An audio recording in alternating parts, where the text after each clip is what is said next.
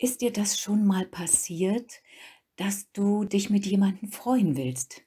Du sagst beispielsweise: „Wow, heute ist aber schönes Wetter.“ Und dein Gesprächspartner, statt eine Einladung zum Freuen anzunehmen, sagt dann: „Ja, aber da hinten ist 'ne Wolke.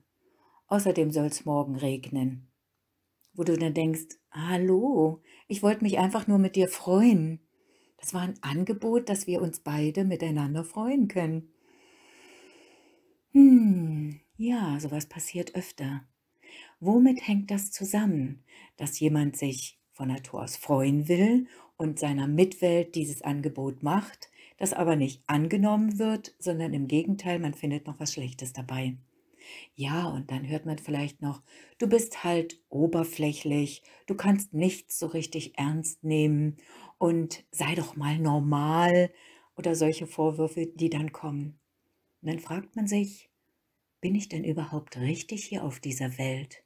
Bin ich richtig mit den Menschen, mit denen ich grade zu tun habe?“ Die Sache ist die, dass man dem näher auf den Grund gehen kann. Es gibt verschiedene Möglichkeiten, wie man seiner Wesenheit stärker nahekommen kann. Eins dieser Systeme habe ich jetzt kennengelernt und das nennt sich Human Design. Entdeckt wurde es von einem Kanadier. Ihr seht ihn hier auf dem Bild. Und dieser Kanadier war in einer Todesnähe-Erfahrung über einige Zeit lang in einer anderen Dimension, so wie ich das auch kenne von meiner Außerkörperlichkeit. Und dort hat er dieses System kennengelernt und hat es aufgeschrieben. Zunächst wollte er es nicht veröffentlichen und hat gesagt: „Nein, ich bin kein Lehrer und Systeme haben alle ihre Schwächen und Modelle sind immer nur in bestimmten Rahmen gültig.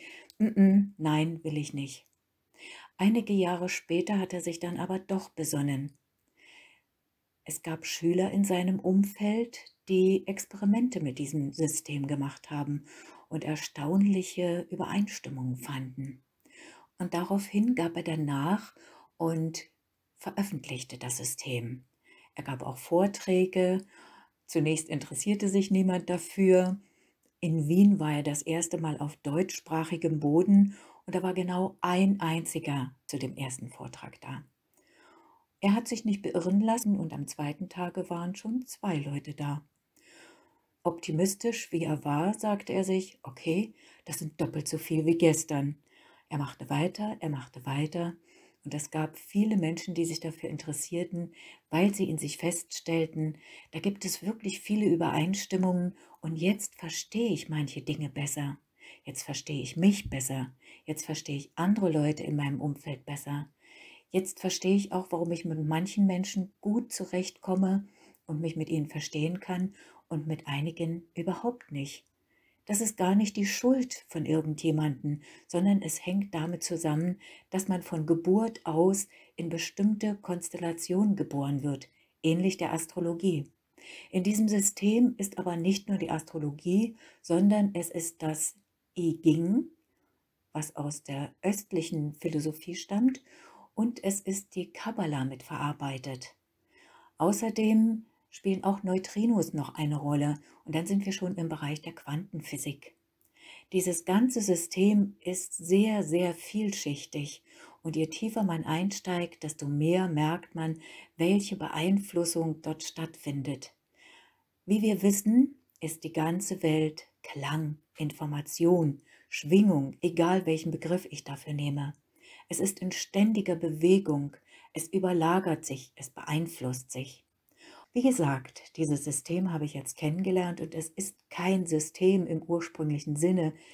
So wird es gemacht und so ist es richtig, sondern es ist sehr flexibel und man braucht auch seine Intuition dafür, wenn man dieses System, so wie es erst mal ausgedruckt wird, an jemanden weitergibt. Das ist genau das, was ich bisher immer ohne System gemacht habe und ich freue mich, dass ich das jetzt kennengelernt habe und ich denke, dass ich intuitiv wusste, was dieses System jetzt zeigt. Nun, ich bin weiter am Erforschen und halte euch auf dem Laufenden. Viele Grüße, eure Valeska.